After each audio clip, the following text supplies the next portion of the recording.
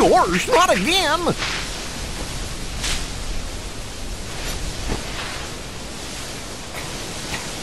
Genie, get rid of these guys!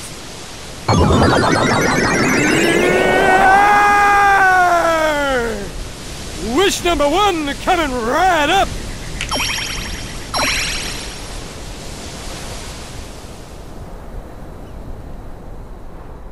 I see.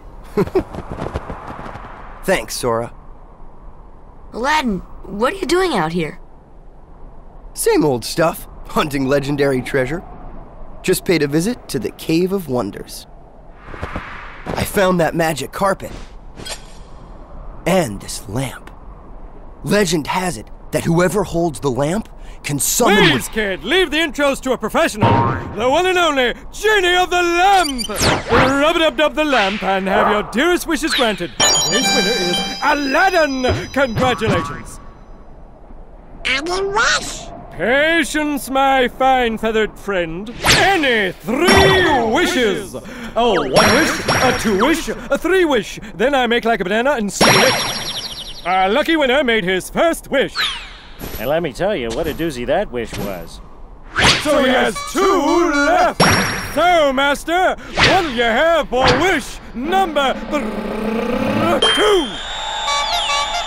Hmm. How about making me a fabulously wealthy prince? Whoa! Money, royalty, fame! Why didn't I of that? Okay, you asked for it. A hundred servants and a hundred camels loaded with gold. Just say the word and I'll deliver it in 30 minutes or less, or your meal's free! Hey, I'll even throw in a cappuccino. no thanks. Okay. I think I'll put that on hold until we reach Agrabah. Oh, why a prince? You see, there's this girl in Agrabah named Jasmine. But she's a princess, and I'm. Ah, she could never fall for a guy like me. Oh, Princess? Jasmine? Oh, that's right! She's in trouble, Aladdin! What? Well, come on, let's get going.